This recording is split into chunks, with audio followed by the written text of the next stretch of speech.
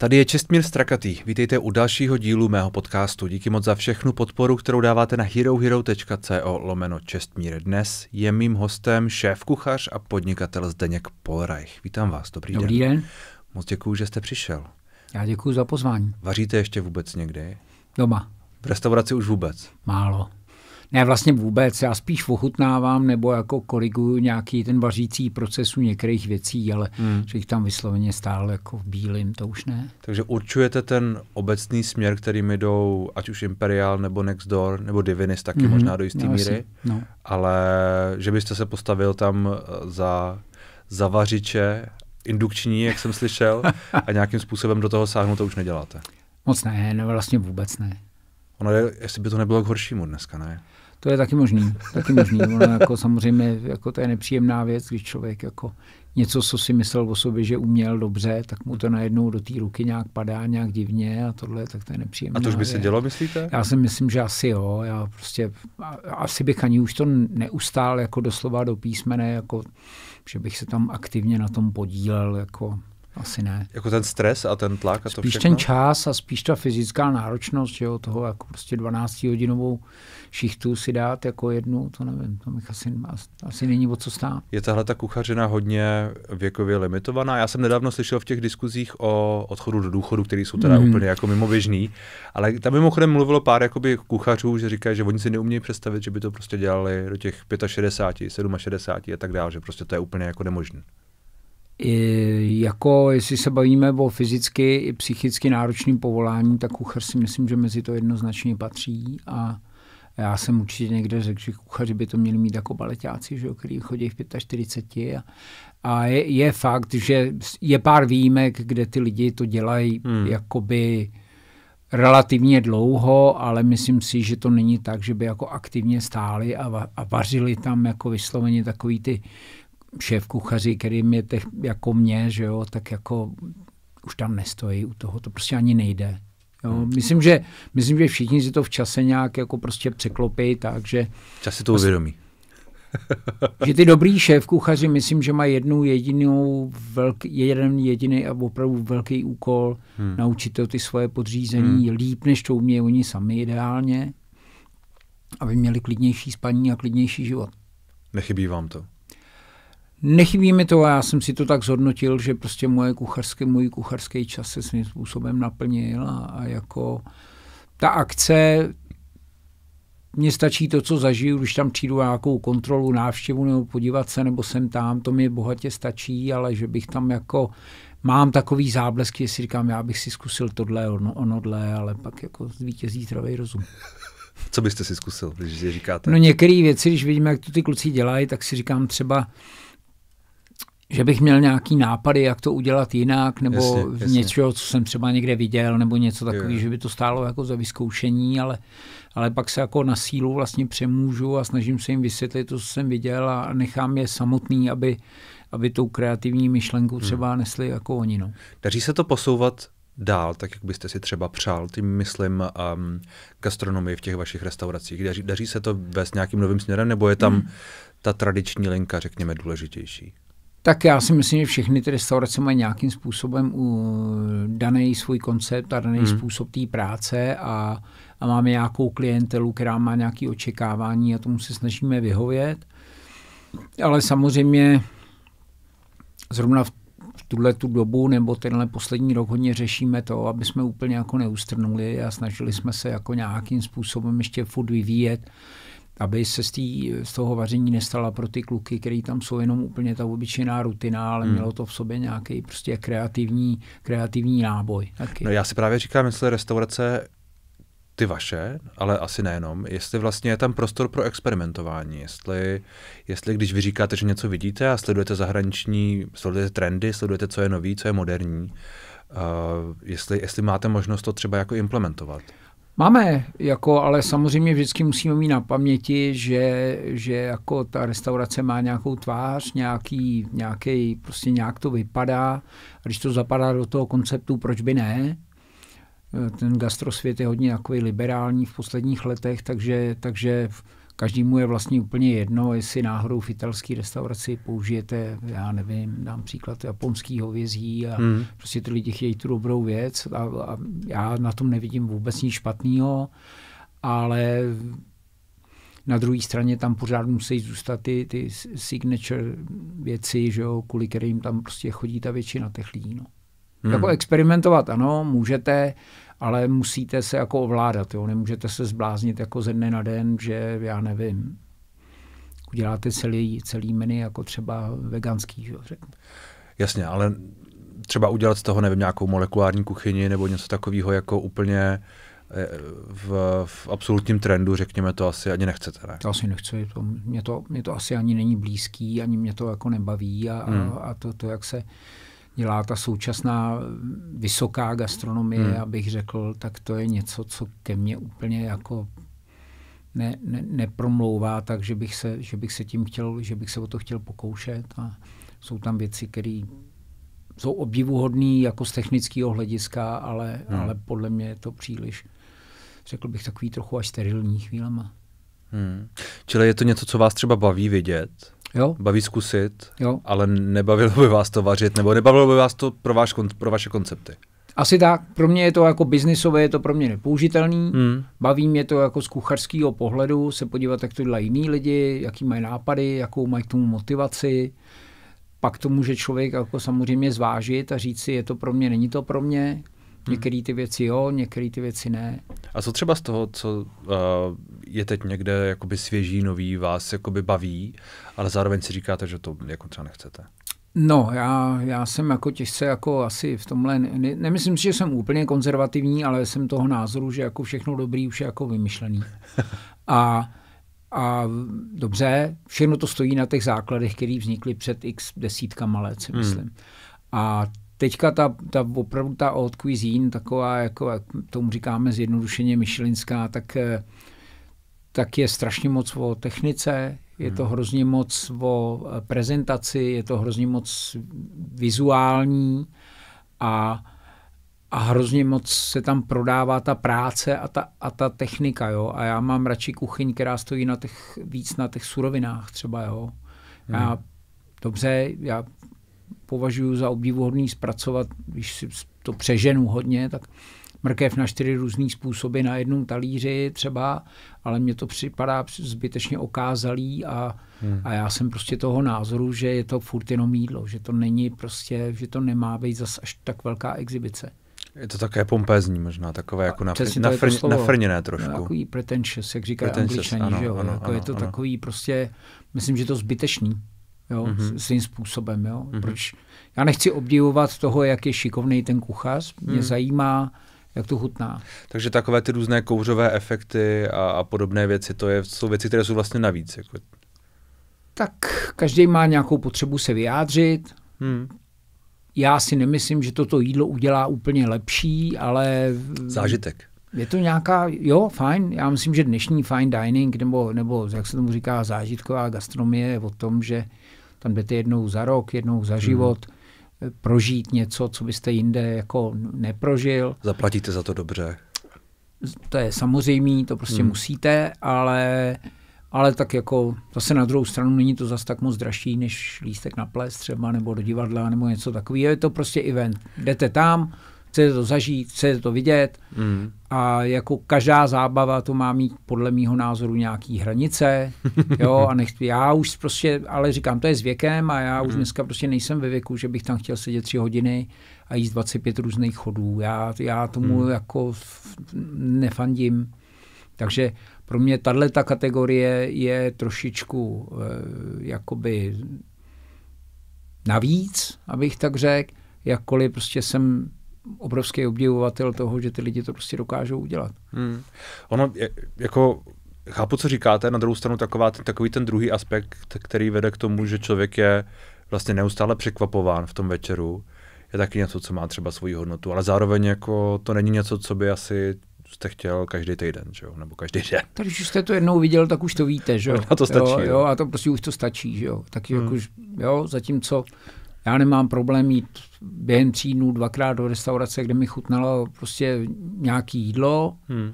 tak já takovouhle show jako prostě dvakrát ve třech dnech jako nepotřebuju. A nejlepší české restaurace, takové ty, řekněme, Michelinské nebo Michelinský hmm. výběr a podobné věci, ostatně i Divinis má Biba, jestli hmm. se nepletu, a. tak ty, ty ještě nejsou ty pretentious, ty uh, nafrněné trošku. No, myslím, že pár míst by se dal, dalo jako najít, kde, kde, to, kde se to tomu trošku blíží. Jako je třeba Field nebo... A já nechci samozřejmě nikoho jmenovat, protože by to ne, protože já si teda myslím, že třeba Field není úplně pretentious. To si myslím, hmm. že jsou jako reprezentanti tohohle trendu. No to, já vím, že to je jeden z těch, těch myšelinských, takže... Jo, jasně, no, a, a zároveň tam taky mají trošku show, ne tolik, ale mají. No, ale tak jako myslím, že Radek to má ještě docela dobře jako pod kontrolou, že to, hmm. že myslím, že měl období, kdy možná to bylo trošku až tímhle směrem, ale když jsem tam byl naposled, což já nevím, dva roky, tak jsme jedli úplně normální, perfektně jako uvařený oběd bez nějakých takových těch extra věcí, ale určitě by asi jak je prostě dneska ta vazba na ten svět strašně blízká, krátká, jedním kliknutím prostě na telefon, hmm. tak samozřejmě hromada těch lidí se zhlídne v tom, co dělá třeba někdo jiný, nebo se prostě z, rozhodnou, že to budou dělat způsobem, který má být jakoby novej nebo zvláštní. Já, já jsem toho názoru, že prostě to má sloužit tomu hostovi a, hmm. a, ne, a nemá to zase až tak strašně moc sloužit tomu kuchařskému egu a když už si za to jednou prostě chcete nechat zaplatit, tak ten host prostě musí jít spokojený. A, a každý uspokoje něco jiného. Já hmm. říkám to, já neříkám, že to je špatně, jako každá věc je to, je to krok vpřed a vždycky potom nezůstane jako úplně všechno. Není zapotřebí to brát, takže je to jako daný. konec světa, že je to daný. Vy jste hmm. zmínil molekulární kuchyň. Kdo dneska ví, že jo, co, byla jako, co bylo to, čemu se říkala molekulární kuchyně, že jo, to 15 let stará věc. Je no. Je to vlastně jo, už starý, to je, to je pravda. Elbuli neexistuje, že jo, prostě naštěstí Alberta Adria, že jo, který je Ferranův bratr, tak pořád ještě provozuje restauraci a já ho považuji za jednou z asi nejlepšího kuchaře jako v současnosti. Hmm.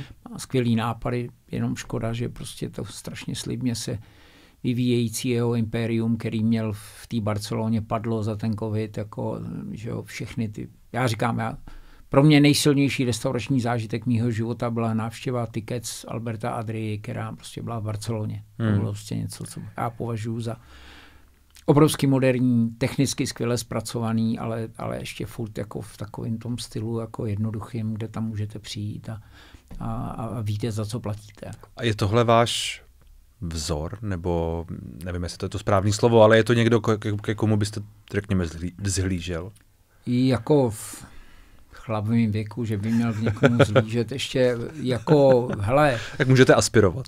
Jako Albert je strašný jako borec. Je to jako fakt fakt je to, fakt je to skvělý. Myslím si, že je to, je to kdyby, kdyby znova říkám, teoreticky, jakože se to nikdy nestane, kdyby existoval tickets, tak já bych byl ten, kdo by si tam prostě dělal rezervaci a udělal, jel bych tam kvůli tomu. Protože hmm. to je prostě po všech stránkách, to splňuje moji představu o tom, jak jak má fungovat restaurace. Ono to tak ale občas je, ne? Že, že lidé tohle dělají, že si vyberete restauraci někde, uděláte si rezervaci a pak je. si okolo toho naplánujete výlet, protože tam je nějaká to dělá, no. dvou, to děláme my. dvouhvězdičková, trojhvězdičková restaurace nějaká jako vyhlášená a Takhle to děláme my s našimi šéfkuchařemi, že se hmm. vypravíme hmm. jednou za rok nebo dvakrát ideálně do nějakého gastro jako místa a vemu ty kluky ze všech těch restaurací, o kterých tady byla řeč a jedeme tam prostě na dva dny a Jdeme se podívat do jedné jako třeba super restaurace a pak spíš jdeme na něco, co není až na takovýmhle jako...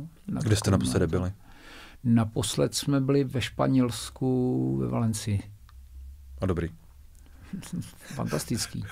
Skvělý. Jako prostě to je já to mám rád, ale není to tak, že bych jako mám kamarády, kteří jsou schopní jet a za dva dny jako čtyři myšelinky, to jako není, to není můj případ, jako já, hmm. mně to stačí jednou za, za dva dny a jako já si z toho vyberu, co potřebuju. A když se, když se podíváme, uh, není, uh, není to jídlo, které je teď v těchto restauracích, a teď nemyslím myšelinské, myslím prostě kvalitní restaurace v Česku okay. obecně, není prostě moc drahé už? bude ještě dražší. Bude takže ještě dražší. Jako e, drahý, jako co je drahý. Jako já myslím, že je to je prostě odrazem, odrazem toho, jaký je ten trh a jaký jsou hmm. ty ceny. A kdyby nám někdo kdybychom dokázali přežít na nižších cenách, tak budeme jako účtovat nižší ceny, ale, ale prostě není to možný a, a my platíme za hromadu surovin třeba dneska už větší peníze, než se platí jinde v Evropě a, a ty lidi vlastně už platíme taky úplně stejně a, hmm. a, a nebaví se o energiích a o, vše, o všem možným. Jako my prostě vstupy platíme prostě evropské ceny ve všem. Platilo to, že prostě byl ten, že ta práce byla levnější, to už dávno pravda není. Hmm. A ty suroviny prostě stojí úplně stejně, takže jestli je to moc drahý, je to kdybych to chtěl smáznout blbou větou, tak bych řekl bez peněz do hospody nelez, se vždycky říkalo. Mm. A prostě každý si musí svobodně rozhodnout, jestli tam chce být, jestli mu to stojí za ty prachy, nestojí mu to za ty prachy, někomu stojí za ty prachy, že si stahuje hry nějaký někde nebo muziku, někomu stojí za to, já nevím, si zaplatit se skok padákem, někomu stojí za to si zaplatit jídlo prostě v restauraci, takže Naštěstí Česká republika je plná dobrých restaurací a, a tento cenový, hmm. Ten cenový rozptyl je prostě obrovský, takže každý si může vybrat. Hmm. To jistě. Vy jste zmínil ten covid, který pár restaurací nepochybně odneslo, mimo jiné ta, kterou jste zmiňoval, Tickets, mm-hmm. ale um, asi i v Česku. Teď, no, když, je tady, když je tady ta druhá krize, řekněme, to, to, to jste taky zmínil, ceny energií, ceny vlastně všeho, lidé jsou na tom trošku hůř, než na tom byli. Máte pocit, že to znovu odnesou nějaké restaurace, že to ten biznis prostě nemůže tak, jak je unést? No odnese to, odnesou to vesnické hospody jako jednoznačně. Myslím, že už se to děje a, a jako restaurace jako na vesnicích si myslím, že jako to budou mít hodně těžký. Hmm. Jako, nebo, nebo, se, nebo se na to prostě všichni vykašlou, takže prostě nějakým způsobem je tady nějaká realita ekonomická a vůbec jako taková a myslím si, že, že docela určitě to, to někdo odnese. To je jako úplně jasný. To bez, bez diskuze. Hmm, není to dobře. Já se z toho radovat neumím. Jako já, já prostě vždycky, vždycky ještě vidím za tou restaurací ještě taky prostě ten lidský nějaký model. Hmm. Nebo toho člověka, který tam prostě do toho investoval ty naděje, tu práci a ty prachy tomu, a všechno možný. Tomu rozumím, zároveň se hodně říká, v restauraci je příliš, kdyby jich byla polovina, možná by to bylo líp, uživili by se taky a možná líp. Jo, tak já nevím. Já, já si myslím, že restaurací v České republice je opravdu hodně. Jo, statisticky určitě hmm. hodně. Na počet obyvatel dokonce si myslím, že strašně moc. Ale, ale já asi nejsem ten, kdo má rozhodnout to, kdy už je to dost a kdy už to není dost. Myslím si, že to rozhodne ten trh, který je vlastně hmm. nejspravedlivější soudce hmm. ze všech. A rozhodnou to ty zákazníci a to je prostě udržej se ty nejlepší, nejsilnější, nejchytřejší, ty, kteří si to uměli nejlíp dohodnout a tak dále, kteří si uměli zafixovat ceny energií, Bůh ví, co všechno ostatního k tomu dneska musíme prostě připočítat. Silnější přežije. Je to jako v přírodě. Je to jako v přírodě. A jak vnímáte v tuhle chvíli? Vy jste byl poměrně kritický v covidu k roli státu, mm. k roli vlády. Jaký vnímáte teď? Jako myslíte, jak, jaký vnímám teď? A dělá dost? Je, je pro vás eh, pozitivním hráčem v celém tom příběhu? Jestli se bavíme o té krizi, jako teďka, mm, nebo mm. tohle, já bych to řekl takhle. Já si myslím, že když si prostě věřili na to, že to můžou řídit, tak ať nám ukážou, jak dobře to umějí řídit. Tak. hmm? Jo, ukázaná platí a myslím si, že to, co se odehrává třeba v tuhle chvíli okolo penzí, jako, což se mě dotýká samozřejmě okrajově jako starobního důchodce, hmm. tak si myslím, že je teda jako hodně jako silný tabák. Jak si myslíte? A, a jako ničeho nic se rozhodnout, že, že to je jinak, než určuje zákon, hmm. nebo jak je to určený, já nevím, v nějakém programovém prohlášení. Jako mi přijde jako děsný jako nechtěl bych do toho moc zabředávat, dějou se okolo, slyšel jsem okolo toho i od lidí, o kterých bych to vůbec nečekal, pár jako neakceptovatelných výroků. Jako. Jak to myslíš? Jakých? Typicky, že jako ty líp placený důchodci s většíma penzema by teda měli se jako uskrovnit a, a, a neměli by si nechat přidat. Jako, což to je, je prostě pravda. úplně jako děsný. Jako. To, to, to, jako, to jako myslím, že je divný, ale hele, chlapci se rozhodli, jak se rozhodli, asi to půjde k soudu ústavnímu, vidíme, Hmm. jak to dopadne. Já, nejde o ty peníze, myslím si úplně zas tak strašně moc, i když v některých, mě asi úplně třeba ne, ale pro některý lidi je to prostě důležitý. Hmm. A samozřejmě to, jak jsou ty pravidla dobrý a dobře nastavený, se rozhodne až v okamžiku, kdy je nepohodlný je splnit. Hmm. Hmm. Asi Jo. nebyly dobře nastavený. Nevím. Možná, že jo, možná, že ne, já nevím. Samozřejmě všechny tyhle ty věci, kde se automaticky valorizuje a automaticky se ty věci upravují, na, tak jsou nebezpečný sami o sobě, hmm. ale jako řekl bych, že to nebylo asi úplně prozíravě jako nastavený a, a mělo to být asi udělaný jako jinak. Ale, ale nastavit to tak, že za to, že je díra do rozpočtu, můžou důchodci, mi přijde poněkud jako příliš jako tvrdý. Hmm. Um, lidi vás vnímají jako, jako autoritu do jisté míry. Já to často čtu v reakcích na v podstatě všechny rozhovory s vámi, ať už moje nebo jiné. Mm-hmm. Ty, ty komentáře tam vždycky takové jsou, že vy jste ten člověk, který to říká, jak to je a že máte ten rozum a, a tak podobně, zkušenosti. Um, vnímáte nějakou svoji zodpovědnost v tomhle ohledu, nebo jak k tomu přistupujete? Tak já jako rozhodně v sobě nenesi, nenosím jako touhu jako zařídit lepší svět nebo něco takového. Já prostě říkám svoje názory tak, jak si to myslím. Často hlasitěji možná, než by bylo chytrý a, a, a, a, a politicky korektní, ale jako, tak, jako já něco pamatuju, přece jenom po tom světě už nějaký pátek chodím a tak jako nemyslím si, že, že, že eh, spousta...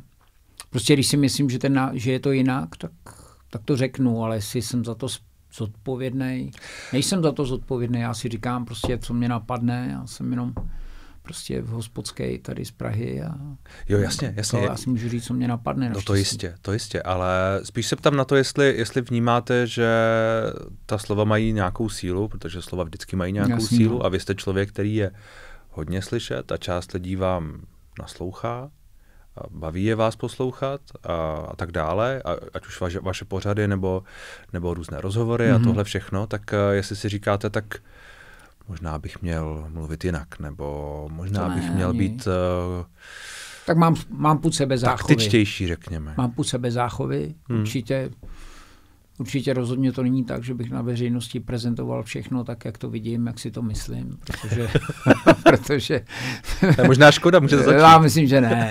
Moje škoda to určitě není. A jako, tak jako vnímám nějakou realitu, v které Hmm. se pohybujeme, v které žijeme, snažím se tomu uspůsobit svoje chování a snažím se tomu přizpůsobit nějaký svoje eventuální angažmá v nějakých věcech, takže, takže snažím se zásadně zůstat teda jako mimo politické jako dění, vlivy a něco takového. A kdybyste měl říkat věci tak, jak si je myslíte, tak o čem byste mluvil? Ne přesně třeba, co, by, co byste říkal, ale o čem byste A mluvil? ono by to bylo furt stejný, protože samozřejmě já, já jako prostě eh, vnímám ty věci, ten současný svět jako tak, že, že se tady děje strašná spousta věcí, které jsou úplně blbě.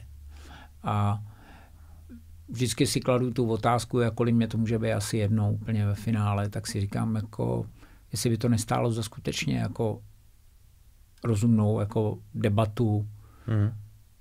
fundovanou jako, a opravdu lidí, kteří jako mají něco v hlavě. Jako jo. Hmm.